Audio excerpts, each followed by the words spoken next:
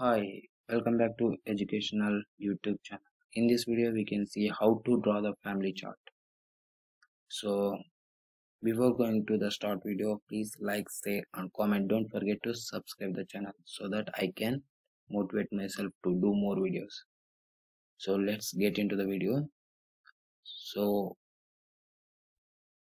if you want the if you want draw the family chart we can use the powerpoint. It's a very easy way. So go to the powerpoint.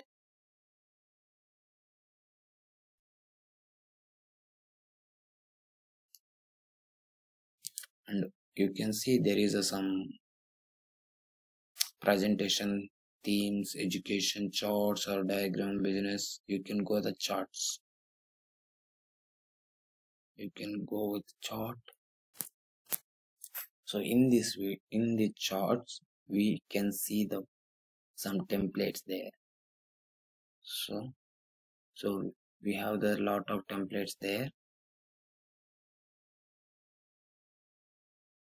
But we can use the family tree chart template. So see you can select this one and create so it will be open like this. Or so see this one is a model one. So you can go with blank second. So if you want take the pictures. Just click. It will be open like this. If you have take picture from your system you can. Otherwise if you don't have pictures you can just name below the image pictures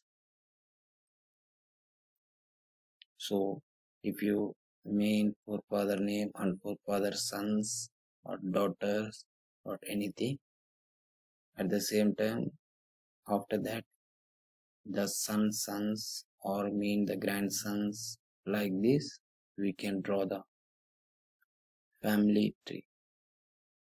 So this is how we can draw family tree so if you like this video please like share comment and don't forget to subscribe. Thank you